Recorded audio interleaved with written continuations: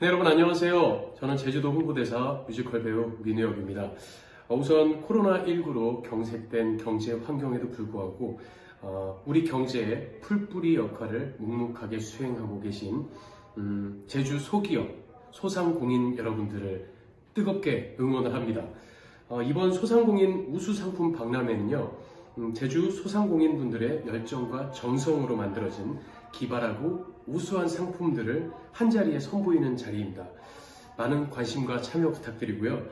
제주 소상공인과 참여해주신 모든 분들이 웃는 그날까지 제가 뜨겁게 응원하겠습니다. 감사합니다.